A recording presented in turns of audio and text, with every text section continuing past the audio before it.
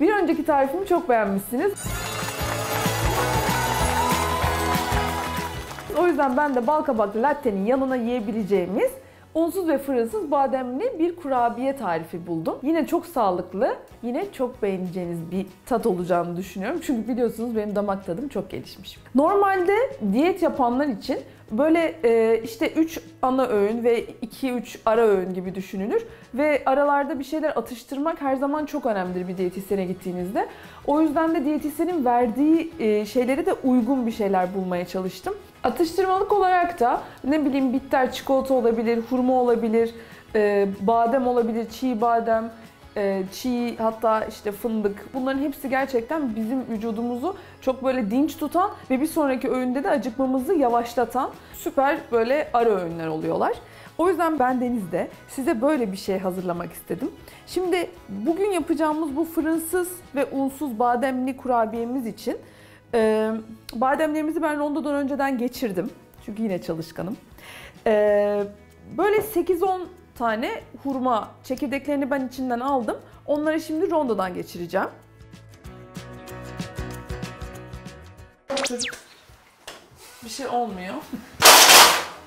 Çocuklar hurmalarda bir... Çocuklar! Ambulans! Şimdi hurmalarımızı rondodan geçiriyoruz.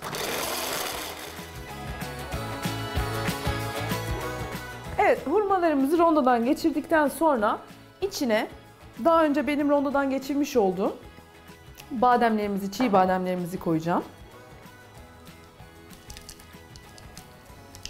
Yine dediğim gibi bu sizin damak tadınıza göre şeyler değişebilir miktarlar. Vanilyamızdan 2 çay kaşığı hatta 3 çay kaşığı koyabiliriz. Kakaomuzdan da 3 kaşık koyuyorum.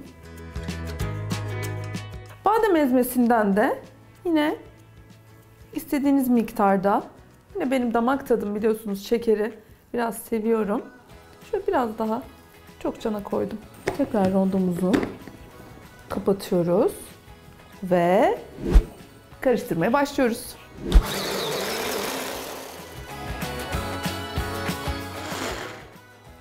Şimdi kıvamımıza bakalım.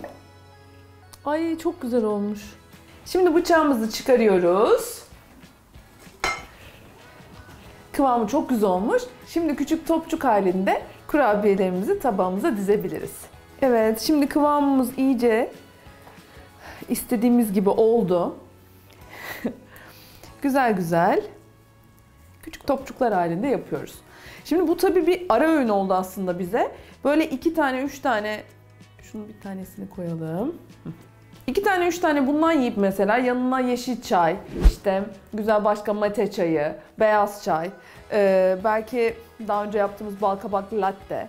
Onunla beraber böyle harika bir ikindi öğünü gibi düşünün bunu. Böyle soğukta içinizi ısıtacak. Bunları hayal edin istiyorum. Unsuz ve fırınsız bademli kurabiyemiz hazır. Ben de daha önce yaptığımız bal kabaklı lattemizi yanına aldım. Şimdi onu içeceğim. Afiyet olsun.